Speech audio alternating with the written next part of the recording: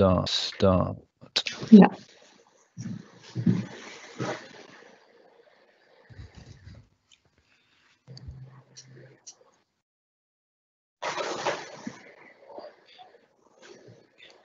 Good morning. Thank you for joining us today for another Jagged Globe presentation. My name's Tom Briggs. I'm a climber and marketing director at Jagged Globe, and this week I'm very excited to have Becky Coles with us. But first, just a quick reminder that next week we have polar expert Helen Turton talking to us about how to get into the whole world of polar travel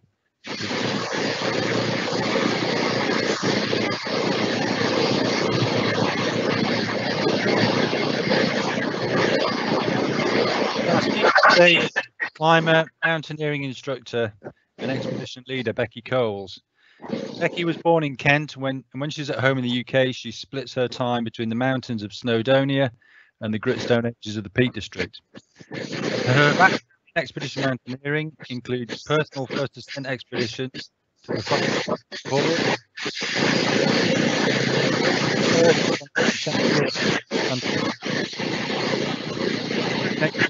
climbing the 7,000 meter peak, Peak Lenin in Kyrgyzstan and travelling overland from Kathmandu to the UK.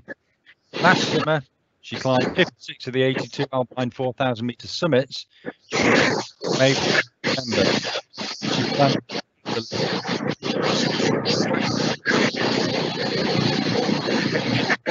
a mountaineering and climbing instructor, and she first worked for Jagged Globe in 2012 and has led half a dozen expeditions for us, as well as being regular our Scottish winter course. Today, he's going to talk about exploration, expedition, preparation.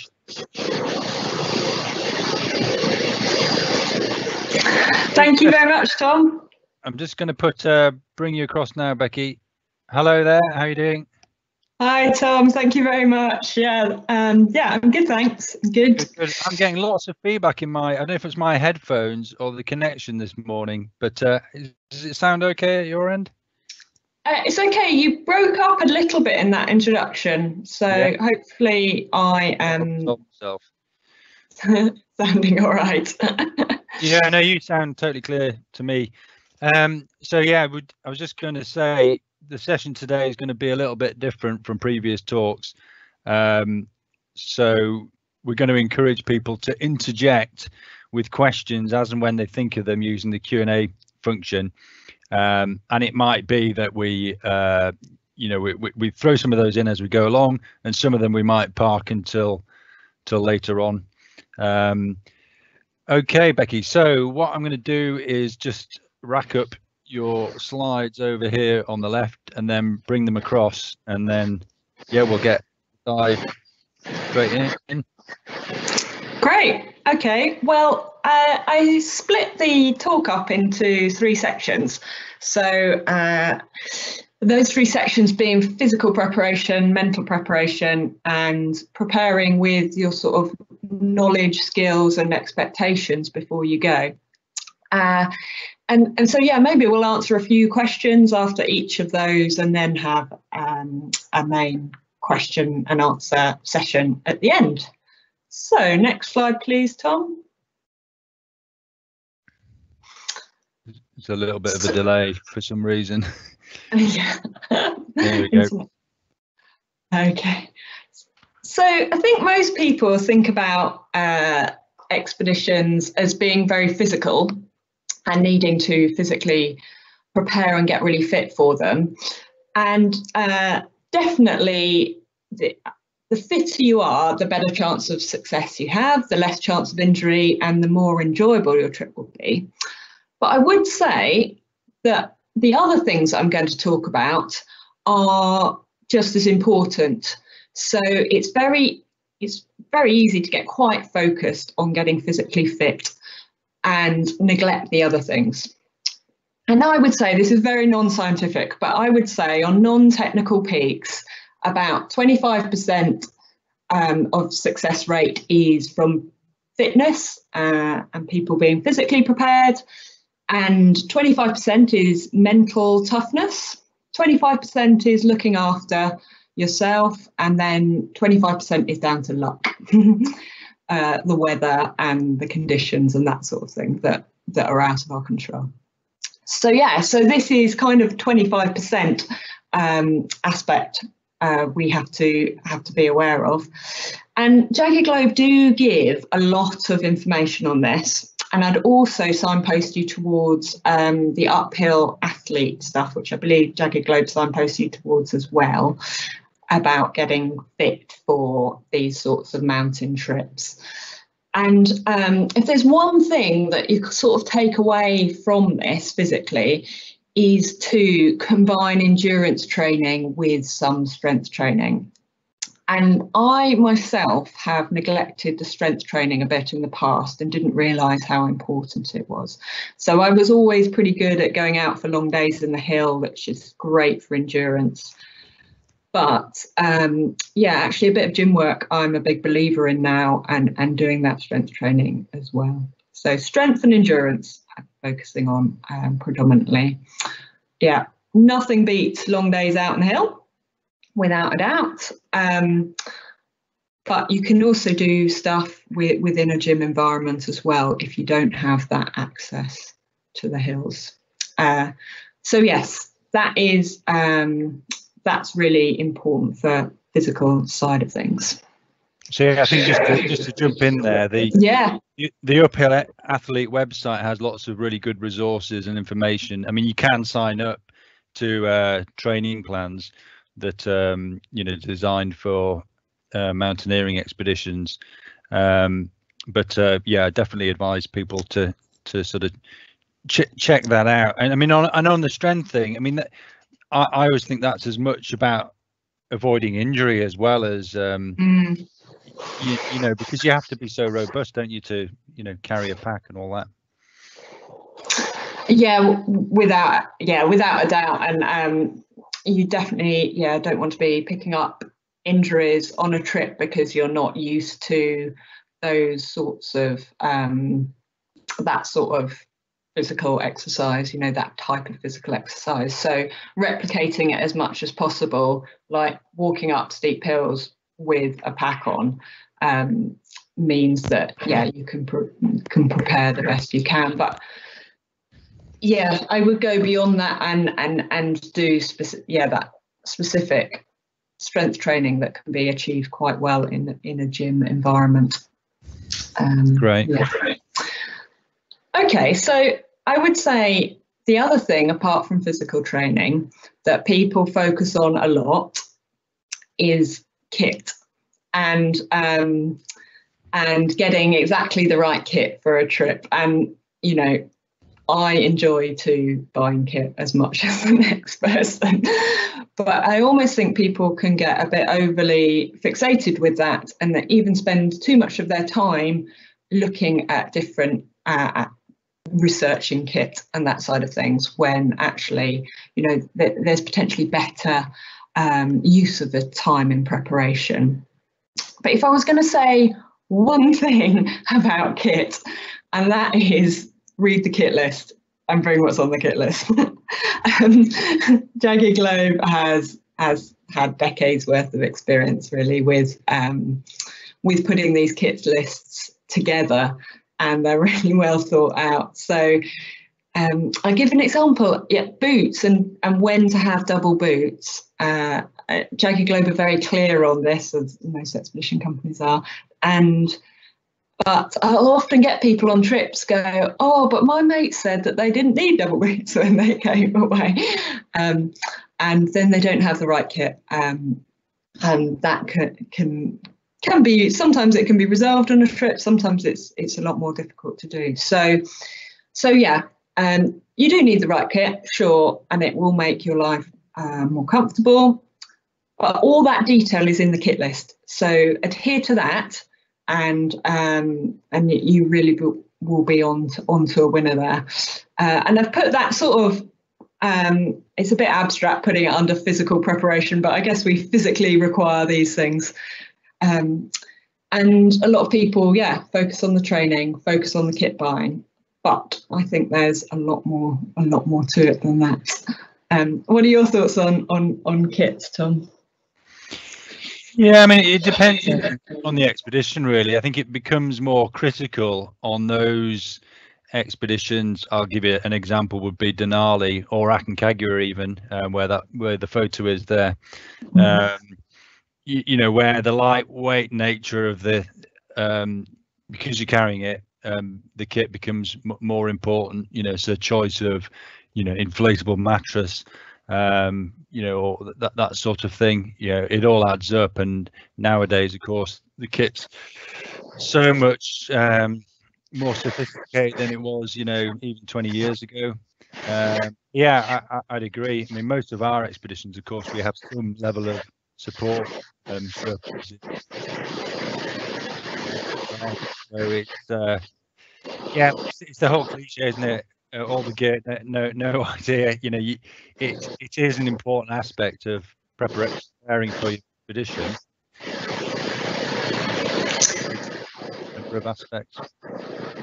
Yeah, I mean, having the having the adequate kit is is obviously essential, um, and the the kit list side of things um, will prepare you adhering to that will mean that you're you're on the right track with that. And say familiarity with your kit, which is might we might get into um, uh, just a bit later on, is of equal importance to having um, yeah having bought the right kit with you. Okay, so um, that is all I wanted to say on physical preparation because I wanted the time to talk about mental preparation and um, skills, knowledge, and expectations uh, as well. So don't know if we've got any any burning questions on that side of things yet. Um, otherwise, we can just keep them keep them to the end. I think, uh, yeah, I think we're all right on the questions just now. I think th- th- somebody's just saying the sound's bad on. Uh, I think it's me. So, so if you if you keep talking, I think you you sound uh, you, you there's no problem at your end, Becky. So yeah, apologies to people for that. Um, uh, there is one question here about sort of specific training that can help with acclimatization. You know, is there anything you can do that can assist with that? Asks Lane. So regarding acclimatization, the best thing you can do is be as fit as you can be before you go. But that still might not, um, uh, altitude is a funny thing and that, um, and that might not, it might just be more important in the end of the day to be being walking really slowly and being really steady and really looking after yourself at altitude um, might make a bigger difference than actually being um, super fit. But personally, I cover both bases and be as fit as you can be.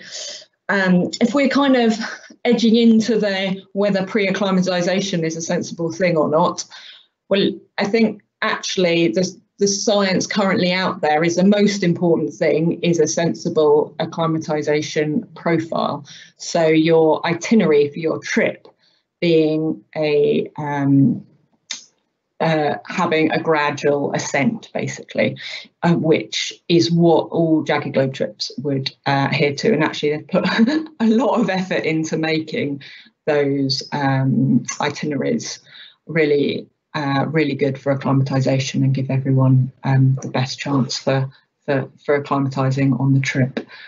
Uh, yeah, cool. Should we go into a bit of mental preparation then before before a trip? Yeah, I think I've already clicked onto that slide, but uh, let, us go for it. Yeah. So a, a, big thing that I well I mentioned at the start, didn't I? That um, I thought actually mental toughness really um, represented maybe about 25% of, of the kind of success. Um, so equal even to, to being physically fit for a trip. And if I have a group of people in front of me at the start of a trip and uh, you know, I get their experience forms and, and they've told me all their impressive, impressive kind of physical feats. Um, and, I, you know, I could order those uh, with how how fit I think a, a person maybe is from from those forms. but that doesn't seem to represent actually who's necessarily successful on a trip um, and or who finds the trip um, kind of uh, very straightforward and, and is very relaxed on the trip and and and um, just cruises along uh, very happily. So so yeah, and I, I, think that's because what I can't see necessarily on a or by looking at a person or by their forms is, actually how physically tough they are, and um, I guess we have other names for that now. It might be resilience, for example, or it might be in the case of kind of a marathon running context, you know, that ability to go through the wall as such and, and, and keep on going. Uh, so next slide, please, Tom. Uh, and yeah, and the, the previous slide, I guess, was a nice sunny sunny picture and beautiful mountains. Uh, but actually, a lot of the time expeditions look a bit like this chose to put my own picture up rather than um, of, of, someone else. Uh, and, and, yeah, and we we're pretty tired, and it means that um, when that tiredness kicks in, we've got to be really self-motivated and mentally tough to to do the things that we need to do. Um, and that might be melt snow for water, or make sure we eat that um, snack uh, and keep our energy levels up, or it might be uh, helping putting the tents up, or or just keeping on going, keeping on walking, putting one foot in front of the other. Uh, yeah, but how how do we train for that? I guess that's the question. There's lots of advice on how to train physically, but training that um, that mental toughness uh, ourselves, you know, how do we do that? Uh, and it does tie back to physical training. So, you know, when we're physically training and um, and we're training really hard, then that can help our mental resilience and becoming tougher and getting used to feeling physically tired and keeping on going. But we need to do sort of long days out in the hills to replicate um, days on expedition. And I'd say even more than just one long day out in the hills. Uh, or doing something that just require it could be a really long road run or a really long bike it doesn't necessarily have to be in the mountains if you don't have the mount that they're not so accessible to you.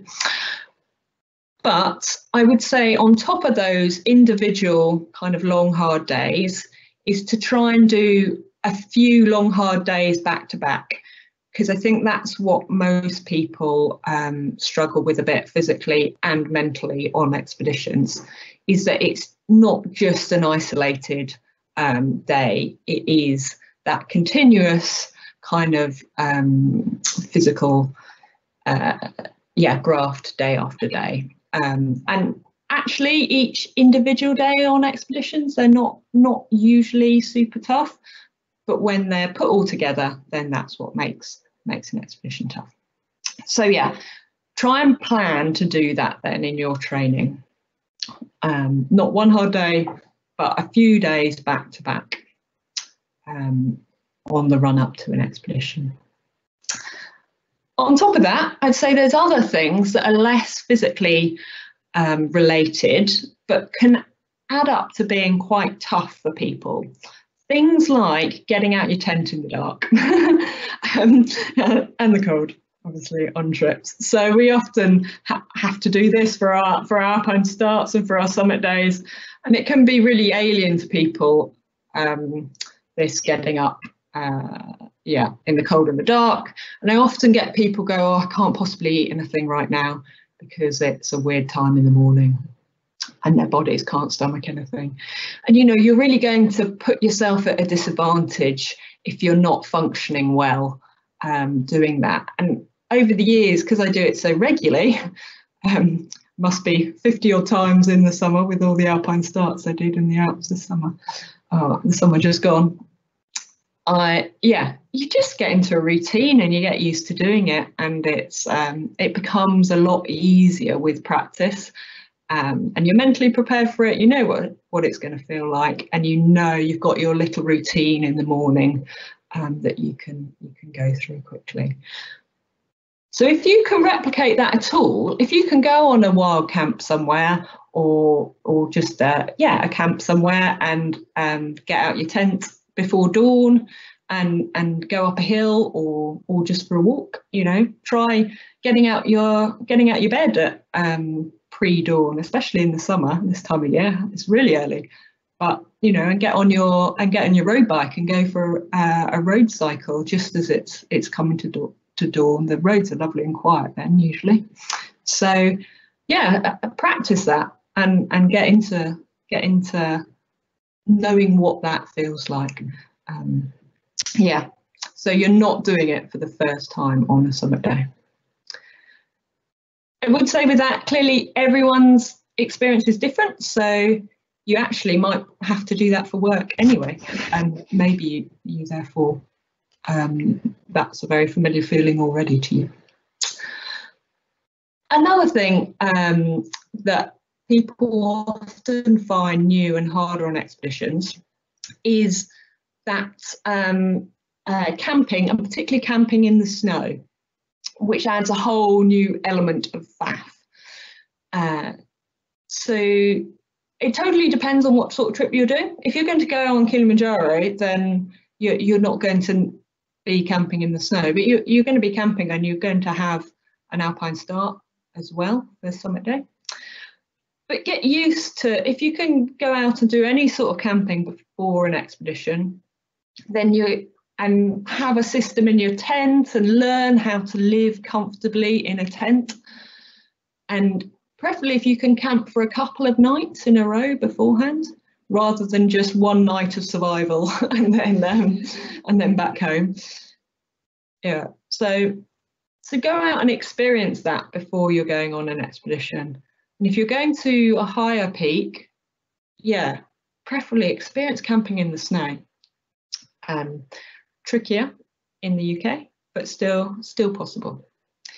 Uh, yeah, so those sorts of things. If you've had those sorts of experiences beforehand, then you're going to have that massive advantage when you go on expedition. You're going to have know the skills that are needed and you'll be mentally prepared for all of that experience with all of that with all of that experience.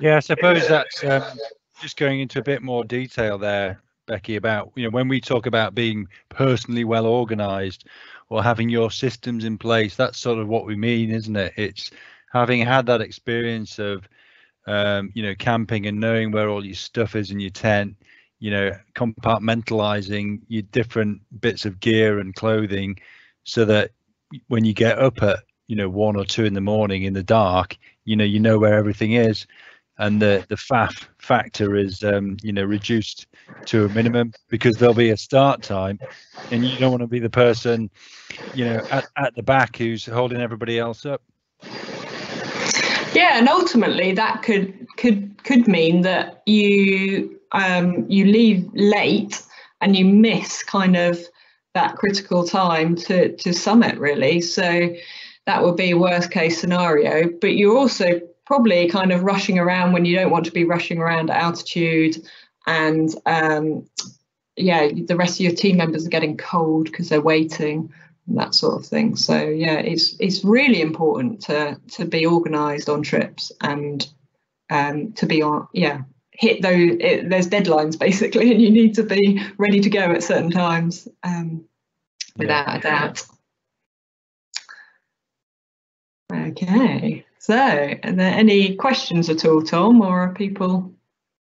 Um, to... Let me just let me just check. I think we're um, we're quiet on the questions at the moment, but um, yeah, certainly if if people want to post questions as we go along, then uh, feel free to do so. But we can yeah move on to the the next section. I think Becky. Cool. Well, this is the third and final section before we go into kind of questions and answers at the end. So a big part of expeditions, I guess, is kind of the having the knowledge and skills before you go, but also sort of being uh, knowing what's expected and the expectations of the trip as well.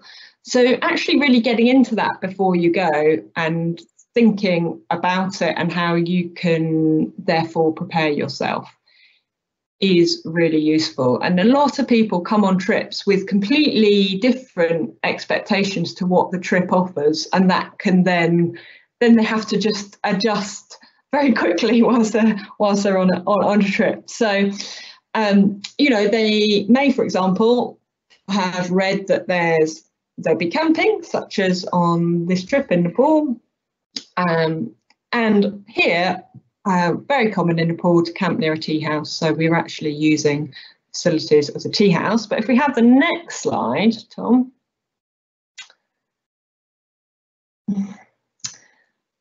You know, the reality of, of camping at altitude is that also, you know, it's not always those nice sunny pictures that we we see, that it is, you know, it is snowy and, and cold when when the sun is behind the mountains. So this is daytime still. You can see it's blue sky up there and uh, and that side of things.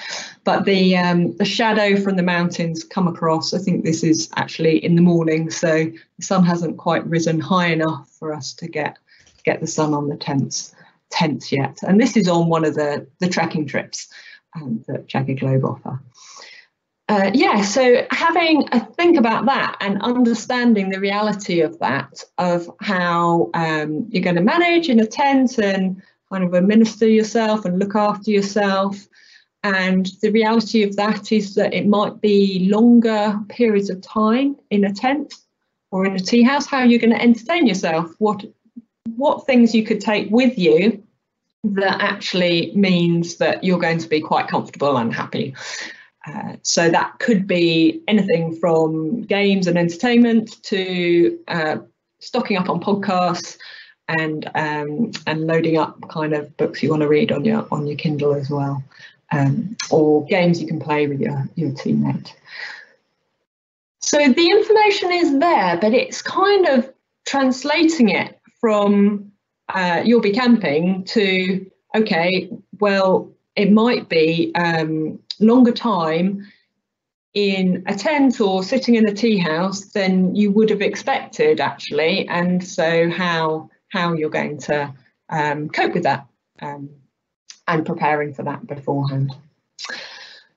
So uh, in combination with that, um, you know, having a look at the itinerary and, and sort of understanding that before you go, in that sometimes for um, trips, they start um, actually at a relatively slow pace. So everyone's like geared up for this big physical challenge and ready to go. But you've got a long haul flight, then you've got um, you know maybe a, a, a, night or two in a hotel before an internal flight, uh, and then get going. So some trips have quite a you know you're you're straight into it straight away, and and some um, it feels a bit slower paced. And if you've got all this pent up, I'm ready to go energy, and um, and you haven't kind of realised that in the itinerary and prepared mentally for that, it can be it can be a bit of a challenge for some people often um,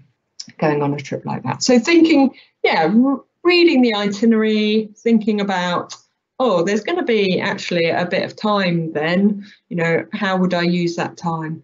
Um, or actually, I really need to make sure I get a good night's sleep then because we are up super early um, the next day, uh, for example. Uh, yeah, and thinking about that, the impact of that on you. And the second thing I was going to mention regarding this is the idea of a group trip as well.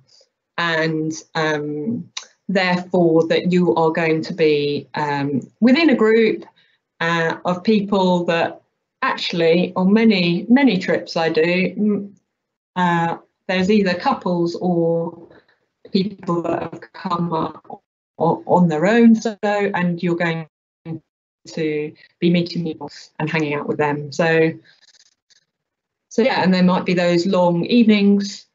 So having some some games or something like that's really good to, to hang out with the, the group as well. Okay, Tom, uh, the next slide, please. So also within your preparation, thinking about the culture that you're going to. These aren't kind of mountain playgrounds that we just turn up at. They are countries with history and cultures and um, and people with kind of unique history and language and that side of things. So thinking about and learning about the culture is of massive benefit before you go. It's fascinating, obviously, but uh, also increases understanding of, of where you're going and thinking about the impact on you as well. Uh, so that might be what uh, would be sensible to wear, for example, in towns or, or villages when you're in the more populated environments. And um, also thinking about the food, what food will you be eating? So this is dal bhat, this is a kind of basic dal bhat in Nepal. Um, you know, do you actually like that sort of food? Because if you're not going to like that sort of food on expedition, then thinking about actually how will I therefore make it um, possible that I can can eat food and eat the meals and you know maybe ringing up Jagged Globe for example and saying actually I don't like rice and I'm going to Nepal. Is this going to be a problem? And giving them the heads up before before you're going um, for example. But if you haven't understood that before going and then serve the first meal on a trip and uh, uh, and the leader or, or the company uh, doesn't doesn't know that that that's kind of going to be a problem with you for you on a on, on a trip, then um, it's harder to to to organise things. Not impossible often, but a bit trickier.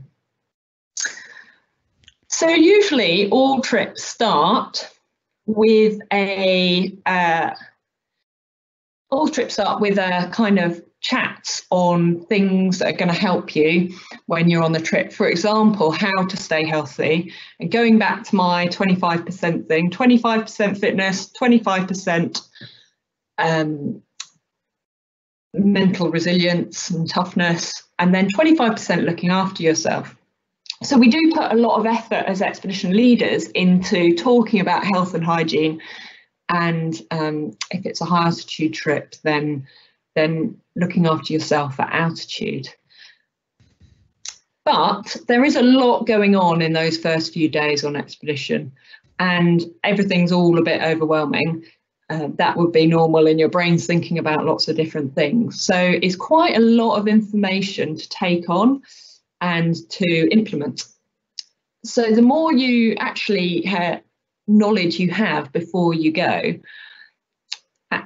you know, the better and the more kind of information will be able to sink in and you'll be able to actually um, use that information and act on it.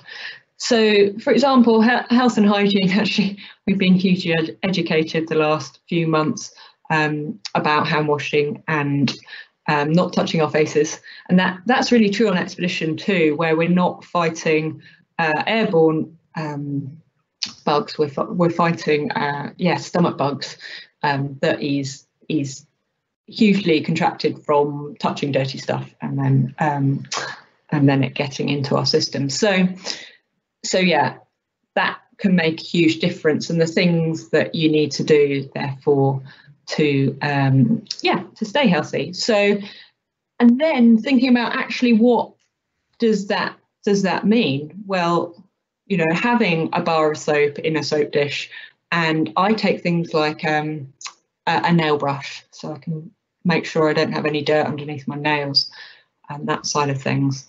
Um, so preparing in that sense uh, helps you. So understanding and having the knowledge about health and hygiene, and then what does that mean for a trip for you? We so just got a... Yeah, go on, Tom. Sorry, Becky. Yeah, we just got a question on on mm. on the food, which um, I think uh, may as well ask it now. I mean, somebody's yeah. asking about the sort of diet to follow before you actually go on the expedition. Uh, whether you've got any thoughts on that? Yeah. So um, I would say the most important thing is not getting sick before you go on expedition and uh, being as healthy as possible. So following a healthy diet. Um, and, that is a balanced diet with uh, your nutrition, carbohydrate, and protein in.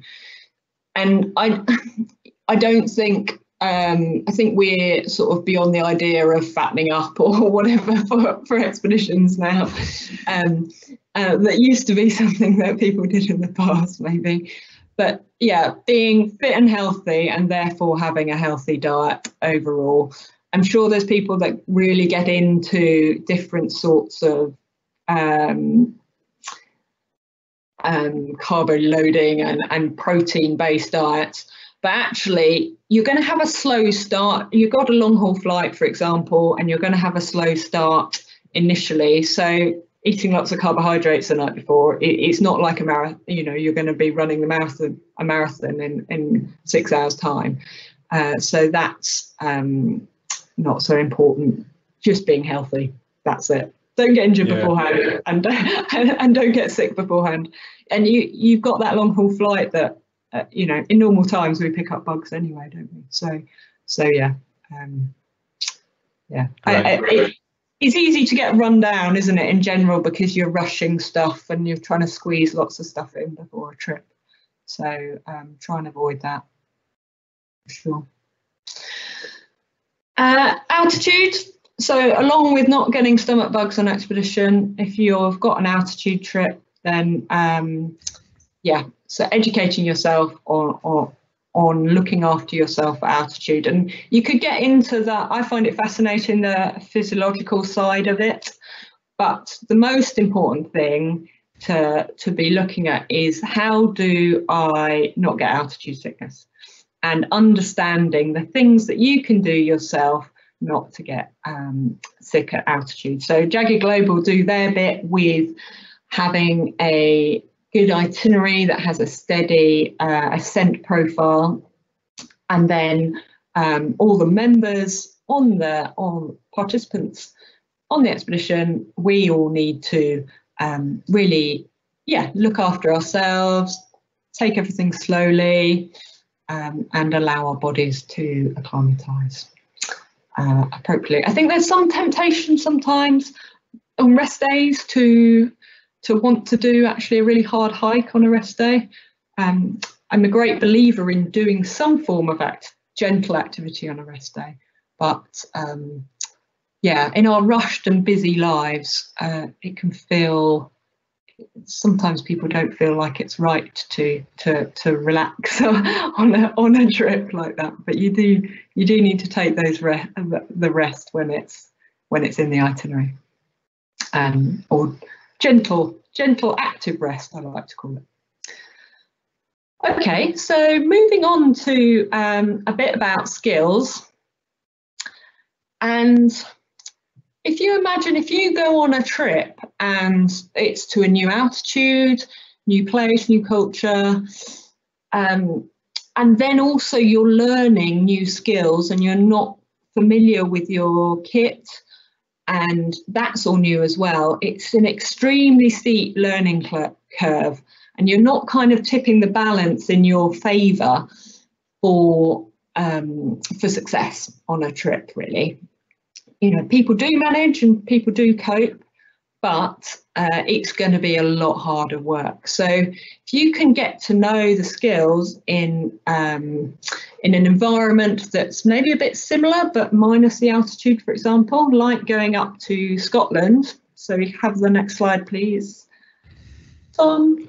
So like going up to Scotland, and you can learn how to use crampons and ice axe and start to move about on a bit steeper ground, then um, and get familiar with that terrain, then you're going to be, uh, yeah, um, really a lot better advantages than than learning that whilst coping with the altitude, whilst all the other new stuff that you're learning, whilst camping in the snow, for example. Yeah, so I think that's really important. And I've put some pictures up from Scotland because uh, yeah, I spend my, my winter up in Scotland.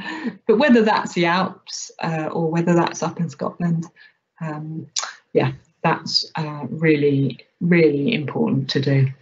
Yeah, it was, it was interesting. Um, a few weeks ago for Robert Anderson's uh, talk about climbing Everest. And I think somebody asked, you know, what's the most important thing to focus on? And he just said crampon technique. Now, you know, plenty of days out, you know, winter mountaineering in in Scotland or in the Alps, um, you know, with your with your crampons on, it it all adds up to you know moving more efficiently and um, you know yeah therefore you use using less energy once you're on the the big mountains. Yeah, definitely. I think there, there's a big thing about this efficiency thing, and uh, yeah, familiarity with um, with the terrain and moving over that terrain will massively help with efficiency. And it's about those um, those marginal gains uh, uh, that stack everything in your in your in your favour, really. Um, yeah, so great, great to get out in different places and and learn learn skills. Um, to improve and it feeds back into this is also physical preparation I don't think there's there's more physical work that I do than in in Scotland in winter, and and it's it's mental toughness as well and resilience. You know, some of the conditions we go out to. I've put two actually very sunny pictures of Scotland up, up there, but some of the conditions we go out in Scotland are actually um, really tough, and people have to be organised with their kit uh, and have to learn those skills. And um, and and yeah, and have to learn mental resilience because there's a storm blowing in their face, and uh, it, it can yeah, be. you remember there was, a, there was a day day when I was out on the Ben on the same day as you this past winter, where you know it was just uh, blowing all day. It wasn't really you know really sort of stormy weather, and yeah, just to uh, look after yourself in that environment. Never mind do the actual climbing is uh, is pretty challenging. Mm. Uh, that's often the case in Scotland. I mean, it's why we always recommend it as such a great training ground because, yeah, in terms of, yeah, like you say, being resilient, you absolutely need to be to um, to, to cope with that environment. Otherwise, you'd just stay in the hotel. Yeah, yeah, and um, I'd say it's it can be quite intimidating when there's spindrift pouring down the the face and that sort of thing, and it's getting into but you know people haven't got their hoods up and it's gone into the back of the neck and that sort of thing. And if you can get uh, into a place where you, you feel actually that a you've got the skills and b you've been in that environment before, you can feel actually very comfortable um, then and you can be thinking you'll have the the spare mental capacity to be thinking about other things rather than like oh my god this is really wild is this? You know um, and I, I've just dropped a glove or something essential like that. Yeah. And and even though yes the weather can be incredibly wild in Scotland you, you know you're still not that far away from the valley. So if you then go to a, an expedition context and you might be at you know camp two um, and and there's a storm then absolutely that experience in scotland will stand you in good stead because it's going to feel a lot more intimidating being up a halfway up a himalayan peak experiencing those weather conditions you know compared to you know um, down at sea level in in scotland yeah, definitely. It's about this. I guess sometimes we talk about an apprenticeship, really, don't we? And building that foundation gradually. So you're in wild weather, but you're not at, in Scotland, but you're not at altitude and you're not uh, that remote. And then you've got that sort of foundation there to build upon, and then you can add a bit of altitude in there or more remote and rather than putting all those elements together which um, is is very full on for people otherwise and and maybe you know i've seen perfectly fit and capable people um it was in a storm on aconcagua actually um and and yeah and that they were just like this is i don't want to be here and um and and they headed down uh, even though he he was very physically capable of, of achieving the summit. But he just didn't have um, those skills and that experience to, yeah, to to want to be there anymore. Um, so, and I think he fully recognised that at the end of the trip when we we were chatting. Yeah. Yeah. Yeah. Okay.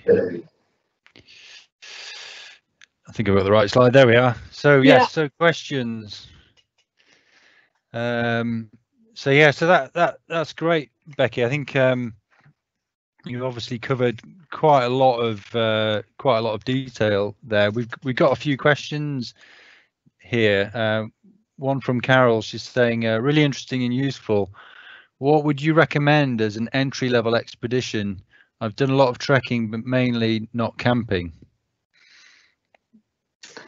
Oh, um, well, something in Nepal, which where you're camping and, and actually using tea house facilities as well. Often, that's quite a nice one to do because you've got um, so the Three Peaks, Three Passes, which I put some photos up of. Um, we were we were camping each evening, but the majority of the time we were staying uh, camping in the grounds of the tea houses.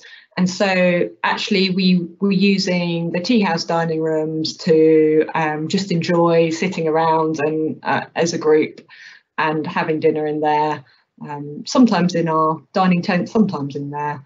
And um, yeah, so that that's a nice, nice combination. Are there any that come to mind for yourself, Tom?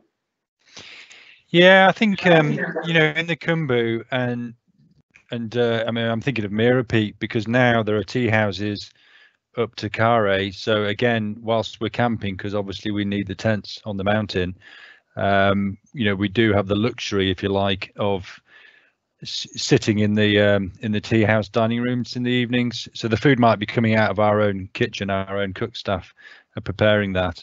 Um, so yeah, it gives you a bit of respite and a bit of extra comfort. And then obviously, when you're on the mountain itself, you know you're going to be well on Mera Peak, sort of camping normally off the side of the glacier or on rock shelves at base camp, and then again at high camp, maybe on rock, maybe on snow. Um, but Mera Peaks, uh, you know, 6,476 meters. It's a big mountain, um, but it is a good introductory expedition, I would say.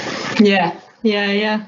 Or even Kilimanjaro, even though it's so it's it's completely camping based, they're so well organised there, aren't they? With um with the dining tents uh, and the like, that actually it's um yeah, it's so well set up that it, it's really comfortable camping in the grand scheme of things as well. So so yeah, that sort of trip is great.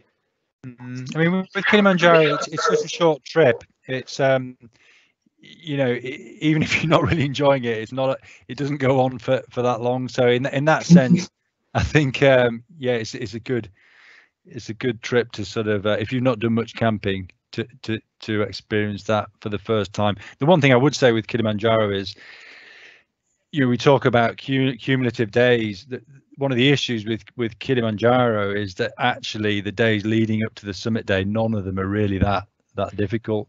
Um, so I think summit day just for particularly tough because it's so much harder than the days.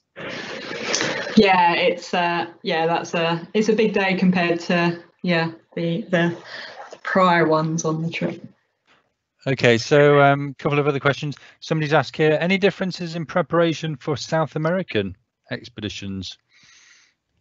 Um I I can't think of anything I would do differently compared on a South American trip to before a, a Himalayan trip personally.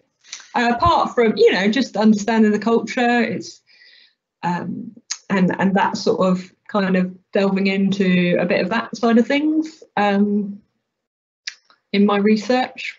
But otherwise, physically and mentally, kind of more depends on what the trip's going to involve, whether it's an Aconcagua trip or a, or a trekking trip in Colombia or something like that. Sure. Okay, so we've got another question here from John. Great lecture. Thanks, Becky. My question is that I've summited Mera, but felt a bit wobbly, knackered, and I felt I couldn't push on beyond that. But I have aspirations of Aconcagua or Peak Lenin. Should I find another 6,000 to 6,500 meter peak to feel more comfy, or would it be okay to jump into the higher climbs? Um, So it, it's difficult to say why why did you feel wobbly on that that particular particular day, um, and I would say you would you would just gain more experience if you did a 6,000 meter beforehand. You'd understand more about yourself and therefore how you need to prepare for something bigger. So I would, you know, it's about building that foundation of experience again. And if you've got more or lower down experience wise, then you're going to have a broader foundation and, and more experience to draw on when you go to something higher. That means that you'll have a better chance of success. Um, and the, the thing is, it's actually um, really enjoyable to gain more experience and go to a different place. So, so yeah, you know, maybe look at a, a different area or, uh, uh, yeah, different mountain range rather than going back to Nepal and and see yeah, get to see something different and then move on to Aconcagua or Peak Lenin. I would say Peak Lenin is probably a step up from Aconcagua, even though there's not much difference in altitude. And that's because Aconcagua, you are mainly not on snow. Um, and not camping on snow rather than Peak Lenin is a lot snowier. Aconcagua is quite a dry, arid mountain um, in in comparison. So those, um, so you won't. You could use some some years people walk to summit of Aconcagua without using crampons and axe. We certainly did need crampons and ice axe when we were out there, but on Peak Lenin you will 100% need need those skills. And it's a big summit day on Peak Lenin as well. Um, so if you were going to pick one of those, I'd go for the Aconcagua um, first off um, before jumping into to Peak Lenin. Yeah, I mean, I, I agree with that. I think Aconcagua is, um, you know, obviously it's not a technical climb up the Horcones route, but uh, yeah, it, it's certainly a very big mountain and it's you know it's got a thousand meter summit day. And even though it's dry um, you know it can be very very windy um, and very very cold uh, as well as very hot low down and uh, there's a lot lot to learn on Aconcagua um, yeah. It's it's usually the fair. Both Aconcagua and Peak Lenin are, are, are, mountains where you are load carrying and doing rotations, and often Aconcagua is the first time people have done that, and um, so it's a, a steep learning curve for for people coping with with um, with that side of things, and and that's why it's such a, a step up from from Mera Peak really. Um, because you've got kind of more cumulative days um, for that side of things. So, so yeah, I would always, I would always go for the the more experience and then better chance of success later on. So another six thousand meter peak. But if not, yeah. have a have a crack at Aconcagua, and you know the mountain's always there. So, so I people go back and have a have a second go at it often and are, successful on their second go because they've learned so much from their first go. Okay, well, let's move on quickly because we are um, sort of coming up to an hour. Um, so we've got a few more questions. Tony's asking, hi, great talk, thanks. I'm going down to Elbrus in 2022. I know that the summit days is a long one. What sort of time do they normally start? Uh, well, I think, Tony, have you have you been to uh, Elbrus? Yeah, yeah, we didn't summit when we went, but um, we had very poor weather. But so I'd like to go back. and what? Um, so did you actually set off in the? Or, yeah, or? we set off. So I can't remember whether it was midnight think, or two a.m. I think it's yeah, it's yeah, one or two a.m. Typically, it's sixteen hundred vertical meters of ascent, isn't it, or something crazy from the yeah, from the yeah. north side. Yeah. Yeah. Yeah. Um, okay, uh, what are your thoughts? This is from Lizzie. What are your thoughts on the services offered by people like the Altitude Centre? Do you think it helps? Do I think? Oh, well, this is the big question in mountaineering right now, and um, and actually, I'm a scientist, so I've, I've come from a science background, and, and my thoughts are there aren't enough science out there yet to say either way. Um, but they're very happy to take your money, as you'd imagine a company to be. So I think with pre-acclimatization, there's actually a huge amount of uh, products on the market, some of which actually have no benefits whatsoever. Uh, and I think that's pretty proven actually. And then some other things that, to be honest, at the moment, you're probably being a guinea pig for science using. So um, personally, I would save your money and um, and and just you know rely on the fact that the itineraries have put, been put together for a steady acclimatization pro, uh, or ascent profile. Um, and actually, there's also a bit of a, a psychological impact potentially of having done some pre-acclimatization, thinking that you're a bit invincible from altitude and finding out that um, you're probably not, and you need to still be um, really thinking about looking after yourself so you can allow your body to acclimatise once you're um, out in the Himalayas or, or the Andes or, or, whatever part of the world you're in. Great. Um, quite a specific question here from Connor. He's saying, great talk and really informative. I'm an instructor and expedition leader and have ideas and ambitions for climbing in the Stans. What mm. advice uh, would you give for climbing in that region? Thanks. Okay, so um, yeah, it's a fantastic part of the world, and um, yeah, I've probably spent about six months out there doing various bits. Um, I've just finished a talk actually that I did last week on on on the Central Asia. So um, uh, that I spent two hours talking about it. Uh, yeah, I'd say the main places are that have high mountains are Kyrgyzstan and Tajikistan, and the um, a tiny bit of of uh, Kazakhstan as well. And the easiest place to go and climb in is Kyrgyzstan because it's actually really encouraging people to go with no, it's abolished the tourist visa um, fees and that sort of thing. And um, it, it is is very accessible to go to, and it has Peak Lenin, which is a yeah a jagged globe trip, so 7,000 meter peaks such as that. It's got three 7,000 meter peaks actually, and then it also has much um, yeah whole range, lots of five and six thousand meter peaks as well and lots of great trekking. So you, it really has everything. So I'd look into look into Kyrgyzstan. It's one of my one of my favourite places in the world, actually. okay, great. Right, we're just going to quickly just uh, the the final question here is from Lane. This is probably one that I'm best placed to answer.